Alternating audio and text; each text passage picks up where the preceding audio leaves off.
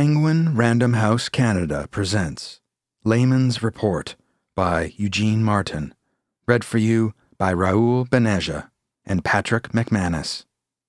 With Zak Annette, John Fleming, Wesley French, Jaclyn Gruenberger, Kathleen Jones, Nathaniel McKenzie, Ellora Patnaik, Caleb Stull, and Sonia Vaillant.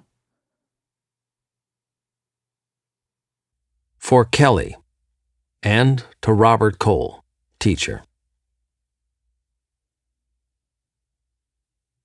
Though it has taken me some time, I have come to know that I am a part of everybody, and everybody is a part of me, and that no matter where I go or how I go, everyone goes with me. Final statement of Richard Tucker, Jr., electrocuted May 29, 1987, for the kidnapping, rape, and murder of Edna Sandifer, retired nurse. Final statement of Lum Yu, Chinese laborer convicted of shooting Oscar Bloom in retaliation for robbery, hung by the neck on January 31, 1902. Kill me good. From the report. These are the objects of interest. The first, freestanding crematory, now removed. Bath and Disinfection Building Number 2, whose function can be confirmed by a glance through the windows. And Bath and Disinfection Number 1, the rebuilt crematory and its adjacent structure, an undressing room, according to museum literature, though discussed at length in the previous section, will be considered briefly again. There were two men, half brothers, shared a father but not a mother. The younger one had ideas. The older one listened. All he wanted was drinking money. He was two years older and named for his father, who was half his size. The younger brother was also small in stature. He couldn't read, but he had ideas. His name was invented just for him. He spent time in the mirror. This a robbery. Let's not make it murder. He told his bloodshot reflection. His other self looked nonplussed. It held something small and snub-nosed. There's two kind of people, it said, and the gun jumped at the glass. The mirror cracked. The little brother took this for a good sign. They waited out in the cold till the Arab was alone with the tabloid. He sat smoking, drinking out of a styrofoam cup, reading with one eye. They crossed the street. There was a plan of sorts, and the older one was to stay outside in the capacity of lookout. But next time, he said.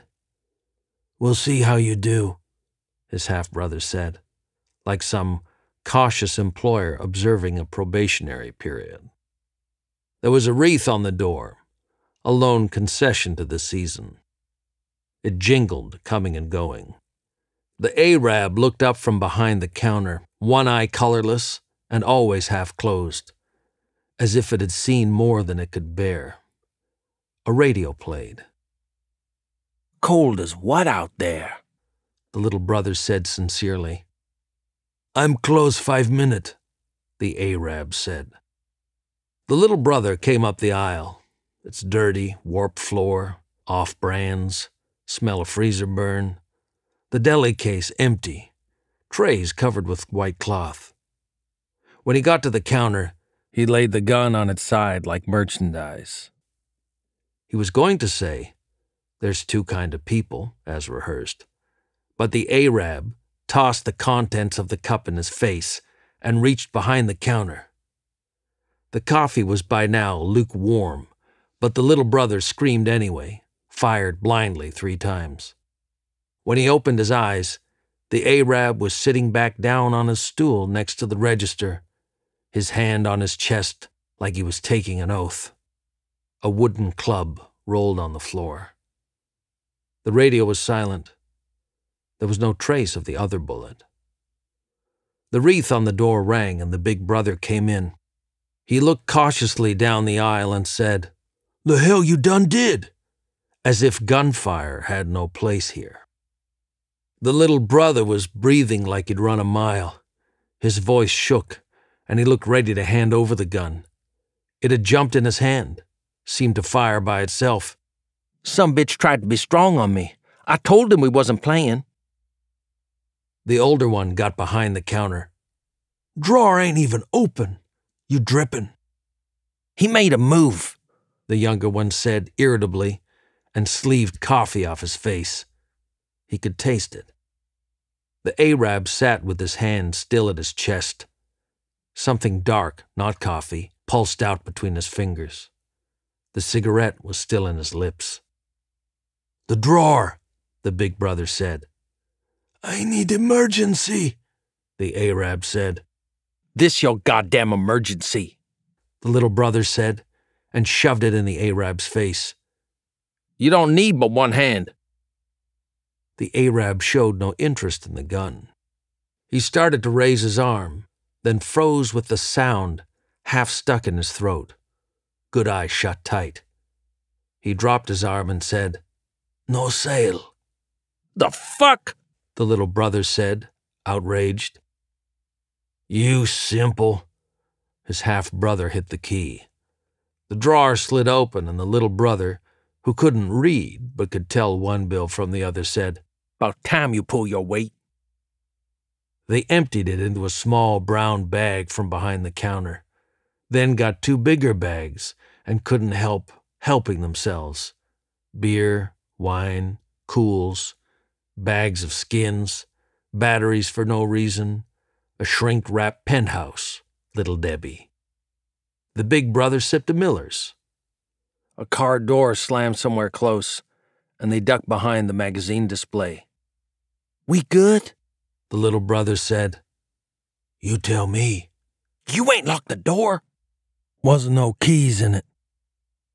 The little brother stepped out into the aisle then, but he could already hear the little bells. She stood near the door and the empty gumball machine in a bulky parka. He in the middle of the aisle with the gun behind his groceries. Twenty-four, twenty-five, and seven or eight months in her belly. Hello? she said. We closed, he said.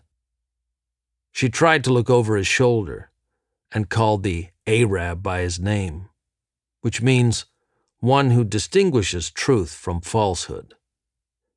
This a robbery, the little brother began, faltering, but she turned to leave before he could finish, and he shot her through the back as if to complete his sentence.